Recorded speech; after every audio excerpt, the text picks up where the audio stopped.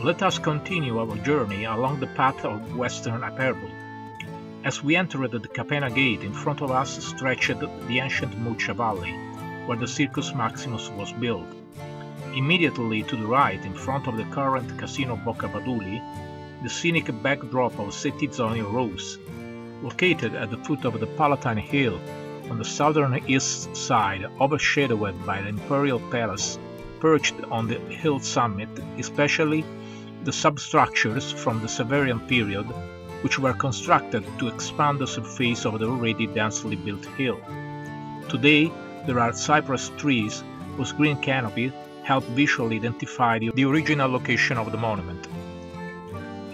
The Settizonio was a monumental facade of a nymphaeum resembling Vitruvian theatrical scenery, with multiple tiers of columns. It was commissioned by Emperor Septimius Severus in 203 AD and served as the frontage of the Domus Severiana, which faced the Appian Way. The Domus and Settizonio were additions made by Septimius Severus to the Domus Augustana, located to the south of the Palatine Stadium, as part of redevelopment of the southern and southeastern slopes of the hill. The building is known from a plan of the Forma Urbis Severiana and Renaissance drawings. The facade was 89 meters long, 300 Roman feet, and resembled theatrical stage fronts.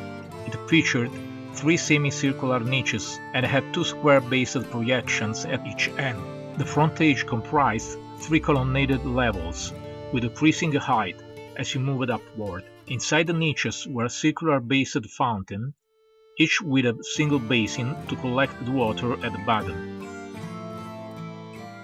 Its design drew inspiration from earlier structures like the Nymphaeum in Miletus dating to the Trajanic period and the Nymphaeum in Aspendos from the Hadrianic era. These, in turn, were influenced by the scenography of theatrical buildings that originally featured water displays.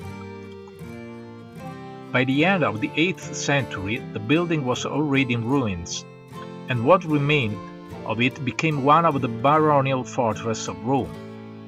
The definitive demolition likely took place under Pope Sixtus V, who repurposed the marbles for various constructions in Rome. The valuable colored marbles were used for the tomb of Pope Pius V and his tomb in the Nativity Chapel of Santa Maria Maggiore. In this short preview video, starting from Porta Capena in the Servian walls, we evoke the memory of the lost Septizonium. Stay tuned for the next full video to uncover the mystery of the cave of Romulus and Remus, discovered 16 years ago and then forgotten again.